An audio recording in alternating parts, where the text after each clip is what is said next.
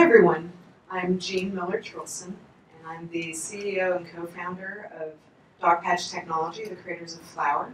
And right over there is uh, my CTO and co-founder, Palmer Truelson. And I'm here to tell you a little bit about how we think Flower can help the global refugee crisis in a different way than Rise. so, so we know the numbers. Um, we're planning on welcoming 85,000 refugees into the U.S. this year. This is frustrating for me. That number should be higher. And why? Is because the refugee crisis is a story that's personal in a different way. My mother was born on the side of a mountain between China and Vietnam as her parents were escaping civil war from China. Decades later, she found herself leaving Vietnam with my father and sponsoring all of our family over to the US. At some point, I got to live with all of my cousins. and it's because of this story that I ask, how can I help? How can I change this? So, what I realized was this question, how can I help? Is something that we ask at Flower all the time. And we built an app for support. We, a support platform to help friends and family better support each other. Help you, help others. We wanted to answer that question quickly, how can I help? What we realized is that we built a platform that was this combination of a wedding registry a way to be able to list things you need and get help, as well as a volunteer board, a way to offer help and your superpowers before anyone has to ask. What we realized was we could use this platform to help connect refugees that come into our community with the communities here. So we want to change it from here. We've been speaking to the Legal Aid Foundation in LA, um, and, um, and we were able to talk to the Refugee Forum. We'll talk to them more. We realized that our goals overlap, that we want to build community. We want to build a support system to help refugees integrate into their new communities. We have that platform. We want to connect the givers in the US to those that are coming in and connect them to the global refugee crisis at large so that we can incite real change. So we can change that number and increase that number from 85,000 on up.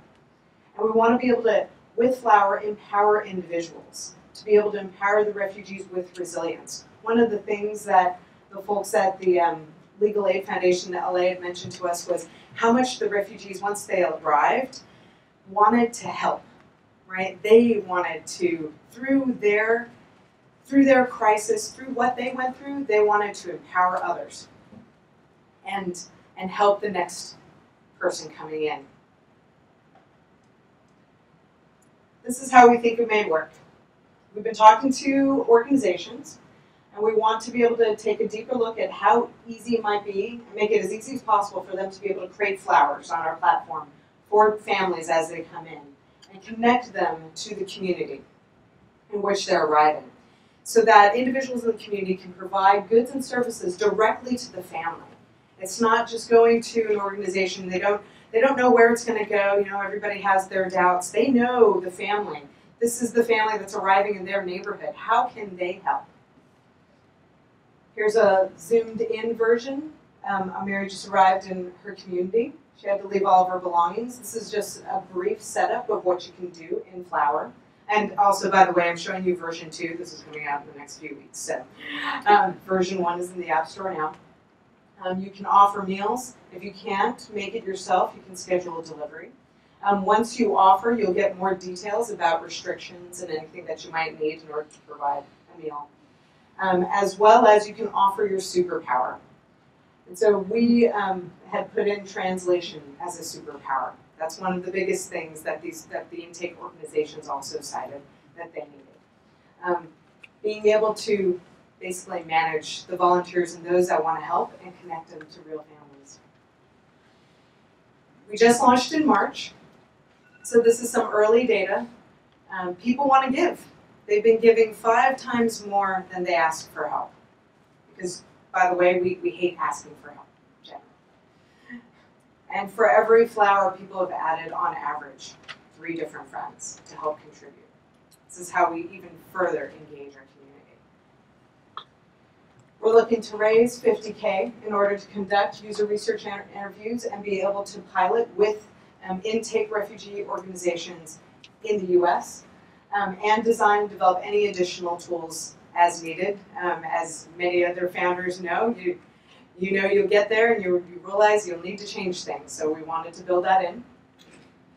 And I'll leave you with a quote with, um, from Pope Francis. He actually said it really correctly. We must not be taken aback by their numbers, but rather view them as persons.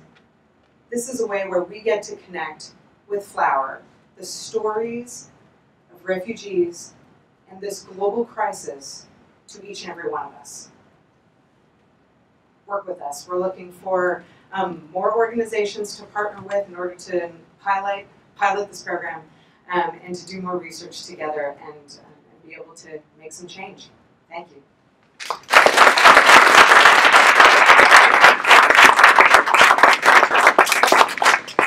Questions? Um, so I was curious. Uh, I saw there was this second option where you could say instead of cooking, I could order food. Mhm. So can you do that anonymously and just make sure the food arrives? Um, uh, how does that work? Is it like how do you order the food and get it delivered and be sure that it's delivered to the person? Well, so our plan is, so we're working with partners now in order to um, have food delivery, and we want to be able to keep it, um, keep privacy settings as well. So somebody can go in and be able to offer a meal, and then the receiver will go in and put in their address, and it's all on our end, what their address is and privacy.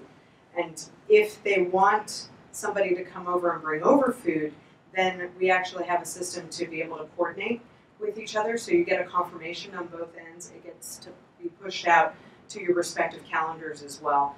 And then the individuals can coordinate if they want to meet in person. But yes, we've been looking at different ways to be able to keep it anonymous, be able to keep personal information like addresses um, on our side. Oh, that's pretty cool. Other questions? Could you walk me through the spectrum that you have on screen? It seems to me there's a mixture of uh, supports and, and features, maybe. Mm-hmm. Uh, but I may be uh, misinterpreting some of them. it's okay. When um, when it came to the um, the screens that I showed you, I only I only showed you a few things. You can you can limit how many things you want to what what you need and what you want to offer. But the spectrum was a way for us to show that there are many ways that people can help, and and it's all about in what way are we available. So on this side, we can, you know, on and on Flower, you can do this as well. You can help in a text message, in a video, and photo. I didn't demonstrate those necessarily, um, but you can also help by being there with foods, rides, and gifts and superpowers. So we built this, um, actually built Flower originally as a broader support app, um, covering use cases like cancer diagnoses and becoming a new parent. So there are different things that you need at different times of life and in different crises. And we wanted to do something more than a sad emoji on Facebook. right? We wanted to be able to give people the power to give in whatever way. So if you can't bring a meal or make a meal, you can send a message of support, um, or you can send your superpower of translation. Um, sometimes superpowers are also just waiting there, being there um, with somebody um, and keeping them company, right? So we realized that um, I, you know, we, we know about support. We did a lot of research uh, when it came to people that need it, as well as the friends and family around them and the communities that want to better support them. Other questions? Yeah, I, I, I try to find your app. and I keep getting button. Like, what, what, what do I look for? that is the tricky bit about being named Flower. so if you search for Flower app, um, all one word, you should be able to find it. Um, we are on i flower or flowerapp.com. You can get the link. The link will send you to um, to the iTunes store. We're on iOS now. In the next coming weeks, you'll see this, the version two, as well as you'll see us on. Um, we're, we're rolling out the uh, the web version as well. wh- uh, what's your profit model? How do you be sustainable? So we take, um, we take a fee off of every purchase that is made, so with our partners. You just add it to my cost. It doesn't get added, actually. Um, a lot of the partners already have um, basically different affiliate models, um, or ones that we've worked out with them specifically. Um, and and so actually, you would pay the price that you normally pay for for a meal, um, or a ride, or whatever it may be, um, and then uh, we work with the partner separately. And we're hoping to actually develop more add-ons and um, additions for flower as well. So. Um, I like that you have that address to protect the um, refugees. I'm curious, what do you do for vetting your volunteers? Let's say they're going to be the ones to support, so that you can make sure that it's somebody who truly has a good motive and, and isn't going to take advantage and misuse the app.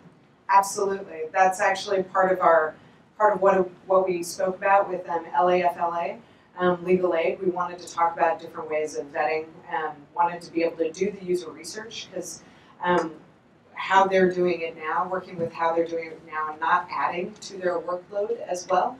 You know, um, they're overworked and underpaid, right, and understaffed. So, however we can make it bring them as much support um, as possible and bring it in. It's actually the whole idea of the of flower is the many to one communication and be able to bring that support. So yes, I don't know the answers to that offhand, but we want to be able to work with organizations to be able to um, to be able to vet that and, and make it really clear and um, and safe for everybody.